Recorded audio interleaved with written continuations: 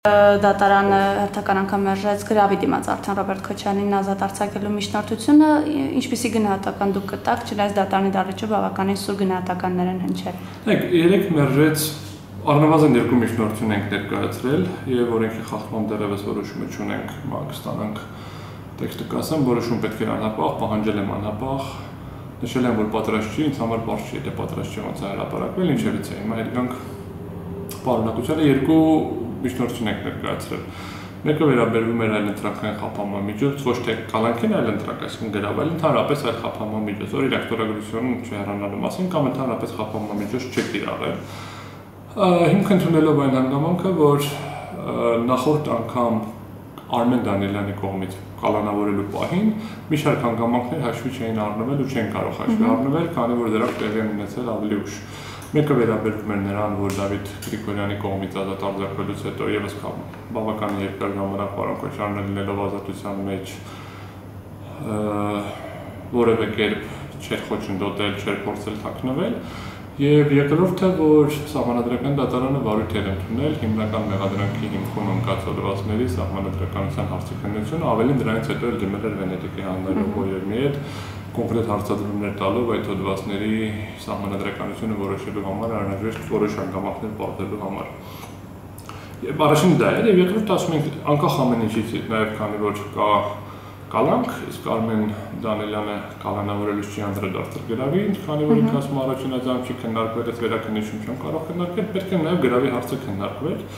եւ գտնում ենք, որ գրավը կարող է ապահովել պատշաճ վարկագից անկախ ամեն ինչից։ Ընդ որում դատական նիստի ժամանակ բերեցի մի շարք օրինակներ նոր ժամանակների, երբ որ հենց խոչընդոտելու ռիսկը չզոքացնելու համար կիրառվել էր գրավ, դրա օրինակներն են Սասնա ծռերը, Դավիթ Սանասարյանի դեպքը, դա Նորքի խումբը, ընդ որում սա ես ինչպես նշեցի դատարանում ոչ թե բացասական, այլ դրական օրինակներ բերեցի, որ Միջև դատաքննության ավարտը գործում է մարդու ազատության կանխավարկածը։ Դա ուղղակիորեն նախատեսված է 5-րդ հոդվածում մարդու իրավունքների Եվրոպական կոնվենցիայի, որտեղ ուղղակիորեն նախատեսված է, որ իրավունք ունի միջև դատաքննություն ազատ արձակվելու։ Այսինքն անձին պետք է կալանավորել սուպեր բացառիկ դեպքերում։ Ցավոք սրտի ընկալում կա, որ սա պատիժ է, Եվ դա ոչ միայն ընկալում է, դա մենք տեսնում ենք, որ կիրառվում է կալանքը որպես պատիժ, ինչը ուղղակիորեն արգելված է Մարտինովների եվրոպական կոնվենցիայով սահմանադրությամբ սահմանության կանխավարկածի ուղղակի խախտում է։ Այսինքն երկրորդը մենք տեսնում ենք, որ ճառերից առնվազն մեղադրական կողմի, որ պետք է կալանավորենք, որովհետև ինքը կհամախմբի ինչ-որ քաղաքական խմբերի։ Սա նույնպես տեսնում ենք, որ սա ապօրինի է, որովհետև կալանքի նպատակը հաստատի քաղաքական գործունեության իր մտքեր գաղափարներ տարածելու գործունեության սահմանափակումը։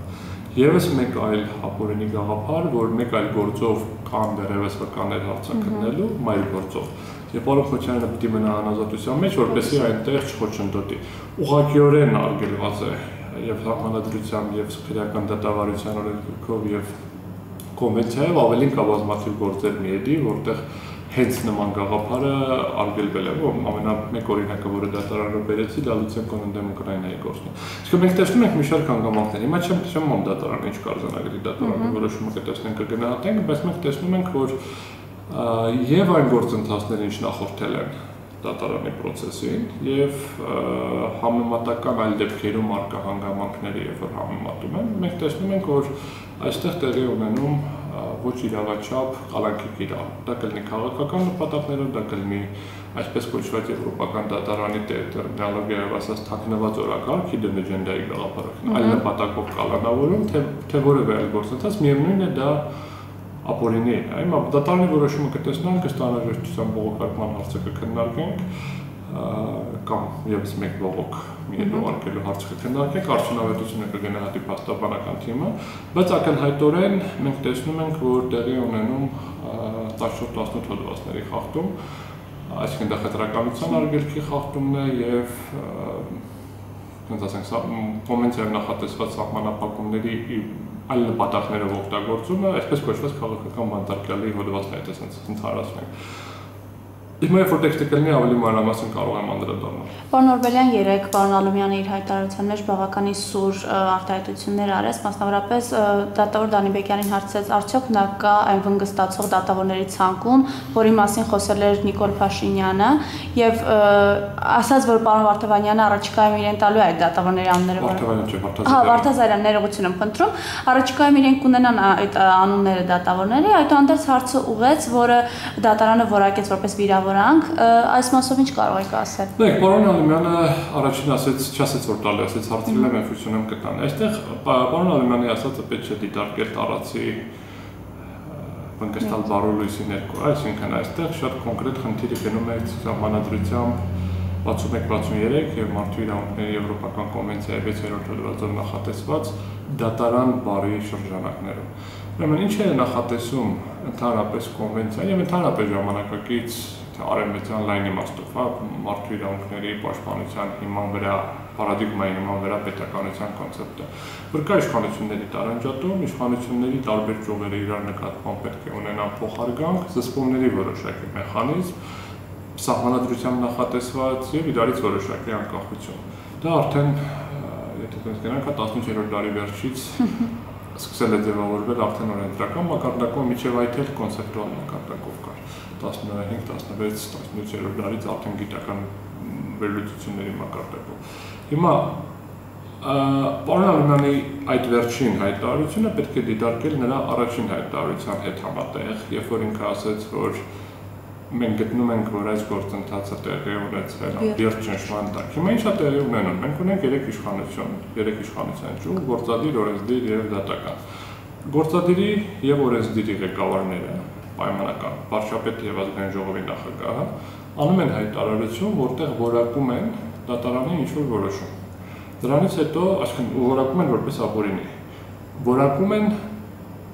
իրենց հավասար, եթե ոչ իրենցից բարձր պաշտոն ունեցող մեկ այլ իշխանության դատարաններից ֆեդերալային երկու դատականություններից մեկի սահմանադրական դատարանի դատավորների ղեկավարին մարմնին եւ որոշումը։ Սահմանադրական դատարանի որոշումները կարելի է կարող են դուր գալ, կարող են դուր չգալ, բայց չեն կարող լինել ապօրինի, որովհետեւ իրենք օրինական են ապրիորի։ Այսինքն այստեղ քննարկման խնդիր չի կարող լինել։ Զուտ է դատական համակարգի առանձնահատկությունն այն է, որ նա քաղաքական մարմին չի եւ քաղաքական կոնյունկտուրայի փոփոխություններից կախված չի կարող դատական համակարգում եւ նրա որոշումները եւ չպետք է փոփոխվեն։ Հիմա պարոն Ալեմյանի հետեւյալն է. Բարձրագույն դատական խորհուրդը այն մարմինը, որը ուղղված է կոչված է ապահովելու դատարանների անկախությունը գործադիրի նման հարձակմանը անդրադարձ է կատարում ոչ թե որպես որ անհարիր է անընդունելի է եւ ընդհանրապես հանցագործություն է դատարանի բարձր համբավը ոտնահարել եւ այլն, այլ դրան դրանի հակառակ ասում եմ մենք էլ գիտենք ովքեր են այն դատավորները, ովքեր հանգստացել են։ Սա նշանակում է շատ բարձ բան, սա նշանակում է հետեւյալ խնդիրը, որ դատական իշխանության անկախությունը երաշխավորված չի։ Եվ որևէ դատավոր անկախ ինքը անձամբ կաշկանդված է զգում, կաշկանդված չի զգում, ինքը անկախ է զգում, անկախ չի զգում, իրավունք չունի եւ չունի ֆիզիկապես հնարավորություն իրականացնել արդարադատություն, որովհետեւ առնվազն եւ ողջամի դիտորդի մոտ եւ ոչ ողջամի դիտորդի մոտ եւ ցանկացած դիտորդի մոտ եւ նաեւ գործիքակազմի տեսան տեսանելիությամբ ակնհայտ է որ դատական իշխանության անկախությունը չկա։ Այսինքն ունենք երկու ճյուղեր, ովքեր հարձակվել են երրորդի վրա, եւ երրորդի այն մարմինը, որը պետք է պաշտպանել եւ ապահովել անկախությունը, ինքը միացել է այս երկու ճյուղերին առնվազն այս մի կտորով եւ համապատասխան գործընթաց է իրականացնում։ Եվ այդ դեպքում ասել, որ մենք այո ունենք անկախ դատական իշխանություն կոնկրետ այս գործի շրջանակներում շատ պայմանական կարելի է, այսինքն կան առանձին դատավորներ, ովքեր ինչ որ գործընթացներ իրականացնում են, բայց կրկնում եմ, անձի 6-րդ հոդվածով նախատեսված արդար դատարանի իրավունքը ենթադրում է եւ կառուցակ կառուցվածքային կառուցակարգային երաշխիքներ եւ նաեւ անհատական երաշխիքներ։ Հիմա եթե նույնիսկ անհատական երաշխիքները կան, դատավորը անկախ է, դատավորը չկաշկանդված չի, պայմանական ասենք, չի վախենում ոչ մեկից, դա դեռ չի նշանակում, որ դա բավարար է, որպեսզի կառուցակարգային երաշխիքները տեղի չգտնեն։ Իսկ մենք տեսնում ենք, որ դրանք ամբողջությամբ խաթարվել են ու շարունակում են խաթարել։ Այսինքն այստեղ խնդիրը ինչի որ դրանք չեն եղել, դրանք եղել են Հիմա մենք տեսնում ենք դրանց քայքայման գործընթացը փոխանցել դրանց ուժեղացնելու գործընթացը։ Պարոն Օրբելյան, դուք դատավորի մասնավորապես Դանի Բեկյանի մոտ տեսնում եք այն մտահոգությունը, որ կայացավ այսպիսի որոշում, կայացրեց այսպիսի որոշում, որովհետև տեսել էր այն դատավորները, ովքեր փոխել էին խափանման միջոցը Ռոբերտ Քոչարյանի, ինչպիսի գործընթացներ նրանց դեմ իրականացվեցին, մեկի լիազորությունները կասեցրեց, այնուհետև աշխատասենյակում խոզարկություն, մյուսի ատենախոսության հարցն էին դրել, նշելով որ գրագողության կետեր կան այնտեղ։ Մեկից հետո դատարաններն են փակել, եթե հարձակում այսպեսին է սահմանադրական դատարանի նախագահի նկատմամբ առաջին ատյանի սովորական ընդհանրավարության դատարանի դատավորի նկատմամբ շատ ավելի մեծ ճնշումներ կարող է լինել որոշումների ընդունման հարցը լուրջ ֆիլիսոփայական հոգեբանական հարց այսինքն ընդհանրապես գիտության մեջ վերել լուծում ոնց են մարդիկ որոշումներ ընդունում։ Բոլորը չգիտես ինչի ելնում են նրանից, որ դատավորը պետք է նստի գիտակցված, ասի ես ճիշտ է այս որոշումն եմ ուզում ընդունեմ, բայց քանի որ այս բաներն ա եղել, ես ապօրինաբար այս որոշումը կընդունեմ ես չեմ կարող ասել նման մտածել մտայնություն եղել է թե չէ բայց կա այլ գործիքակազմ երբ որ ուղեղը տեսնելով այդ բոլոր ազդակները եւ հասկանալով որ դիսկոմֆորտի մեջ կգտնի եթե ինքը ասի ես ապօրինի որոշում եմ կայացնում սկսում է հարմարացնել իր որոշումը այդ ազդակներին եւ փորձում է լուծում գտնել որ այս ազդակների հարվածի տակ էլ չմնա բայց իր կարծիքով ինքը նաեւ իր հոգուն հավաստում ազատ որոշում կայացնի ու իր կարծիքով կարող է եւ վերջում մտածի, որ ինքը արդար որոշում է, բայց այս որոշումը ի սկզբանե արդար չի։ Դատարանը պիտի ունենա դրա համար եմ ասում կառուցակարգային երաշխիքներ։ Ուրեմն ես անձամբ մի քանի անգամ եմ նախկին աշխատանքի բերումով եղել եմ քրեակատարողական հիմնարկներում եւ հանդիպել են քննարկել են, ասենք, դատապարտյալներին գործը ակնհայտ դիտարկելու դեպքում երևում է որ անձը ծանր հանցագործություն է կատարել։ 6 ամիս հետո անձը համոզված է որ ինքը չի կատարել։ Ոչ թե ինքը մտածում է որ արել է դա որոշակի պայմանների, չգիտեմ, պատճառով, այլ համոզված է որ ինքը չի արել։ Կա հսկայական գիտություն, որը ուսումնասիրում է վկաների հարցակրթությունը եւ ոնց են վկաները համոզված լինում բազմաթիվ դեպքերում, որ իրանք տեսել են հանգամանքներ, որի որը տեղի չի ունեցել, բայց իրանք համոզված են, որ դա տեսել են, լսել են, որովհետև հետագա ինֆորմացիան, նախկին ինֆորմացիան իսկին ամբողջությամբ խառնվում եւ ժամանակագրական տեսակետից որոշակի ազդեցություն ունենում։ Այսինքն ինչ ինֆորմացիա ենք մենք տվել դրանից հետո ազդում է այն ինֆորմացիայի վրա, որը իրան թվում է ինքը համոզված է, որ ինքը գիտի, որովհետեւ տեսել է։ Եվ նա նմանատիպ դեպքեր։ Հիմա հետ կամ դատավորը ես չեմ կարող ասել ինքը գիտակցելով դիտավորյալ ասել է ես ապօրինի որոշում կկայացնեմ թե ինքը փորձել է իր ուղեղում տեղավորել վերջ գիտությունների տեխնացու է բավականին գիտելիքների առումով լավ դատավոր է ասած ասենք առնվազն կապտական ցենզը երբ որ նայում հաստաբանական աշխատանքի փորձ ունի բայց սկսում է իր ուղեղում տեղավորել, ասենք ճնշումների ինֆորմացիան, եթե ինքը ակտիվ չի մշակում, пассив ակնհայտորեն մշակվում է։ Ինքը չի կարող չիմանալ դրա մասին, որովհետև ԶԼՄ-ները ուղղակի ամբողջությամբ որտեղ էլ բացեք դրա մասին։ Հետևաբար այս ինֆորմացիան ուղղակի վերադրվում է եղած գործի հետ եւ մոտավորապես փորձենք միջանկյալ լուծում գտնենք, հետո կտեսնենք տարբերակով։ Ընդ որում կրկնում եմ, ինքը կարող է համոզված լինի, որ ինքը իրացրել է արդար որոշում, բայց դա չի իր իր իր համոզման որոշում բայց դա տես չի, որովհետև արդեն այս փաստերը բերում են նրան, որ այդտեղ անհնար է որոշում կայացնել առանց այս փաստերի ազդեցության։ Իսկ փաստերը շատ տիպիկ են։ Պարոն Քոչարյանին ամեն անգամ ազատ արձակելուց հետո, ընդ որում միայն կանոնավորման խնդիրն է, մնացած որոշումներում այդպես տենց ճնշումների մակարդակը այդքան չի, որովհետև տենց մտածում են, որ կարևոր չի, կարևորը նստի, հիմա նստի, հետո կտեսնենք։ Ուրեմն ազատ արձակեց Ազարյանը 4 օր հետո 100 կառավարության 100 օրվա հա, կառավարման 100 օրվա նվիրված այդ միտինգն էր, որի ժամանակ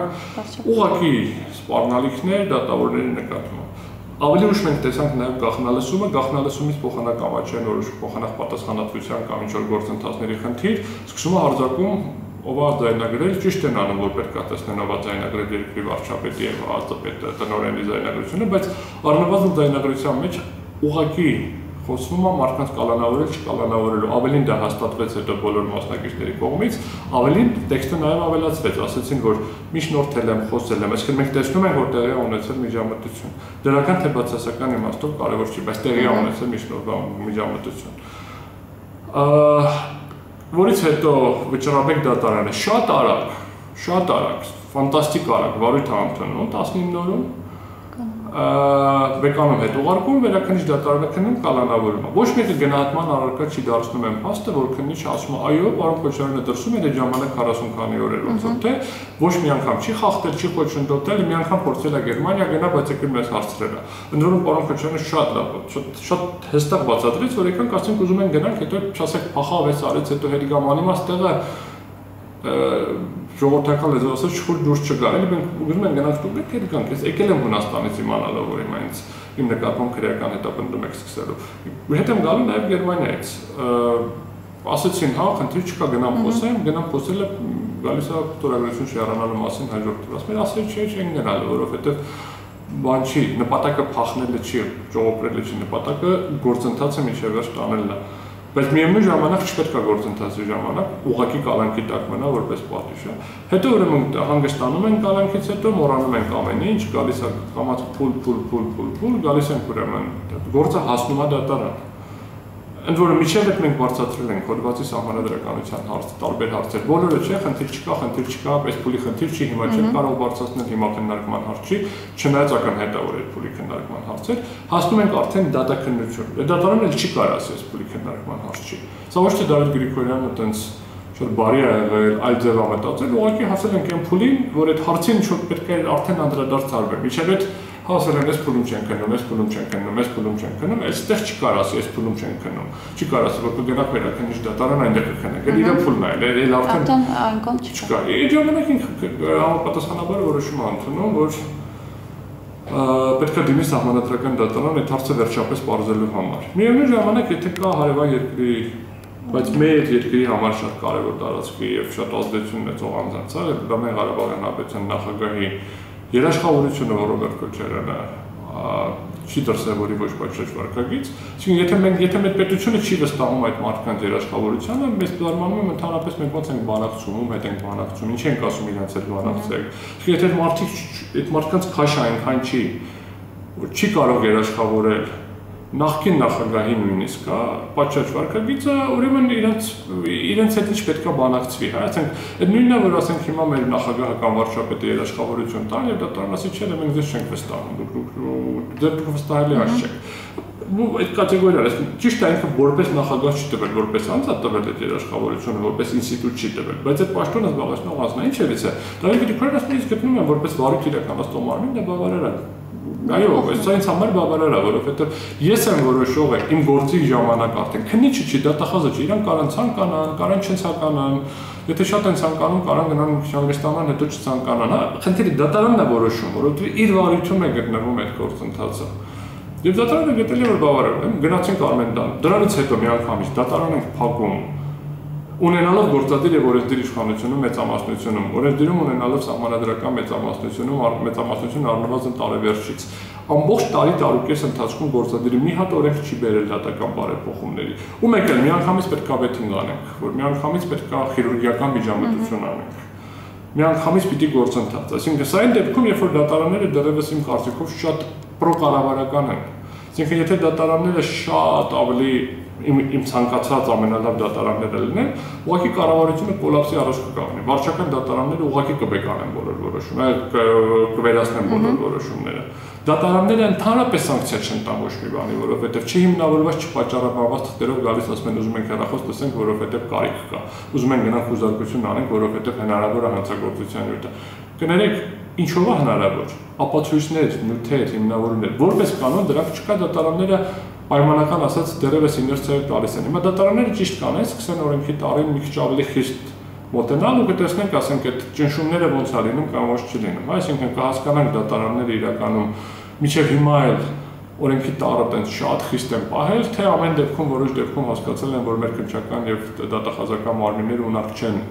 ճիշտ փաստաթղթեր կազմեն, դեռևս այդ գիտելիքները, ունակությունները, հմտությունները չունեն, պիտի զարգանա փուլ։ Հիմա Կներեք, եւ դրանից հետո մենք տեսնում ենք, ուրեմն դատարան փակել այդ process, որից հետո դիազորիստերի դադարեցում, քրեական գործ, հետո ԲԴԽ անդամներից մեկը ինչ որ հայտարարություն է անում կիսաքաղաքական, հա, փոխանակ զսպվածության փոխարեն, ինչ եք ուզում պիտի հանցագործություն անի,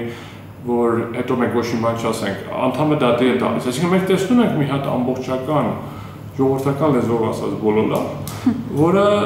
պետքա չլինի դատական իշխանությունը հանգիստ է սիրում, այսինքն դատական իշխանությունը դա պարլամենտ չի, դատական իշխանությունը դա կառավարություն չի։ Դատարանները քաղաքական մարմին չեն եւ չի կարող դատարանը պատասխան տալ այդ քաղաքական մեղադրանքներին։ Եվ դա պետք է դեռևս մենք այդ գիտելիքին հասնենք մեր քաղաքացիական ընկալման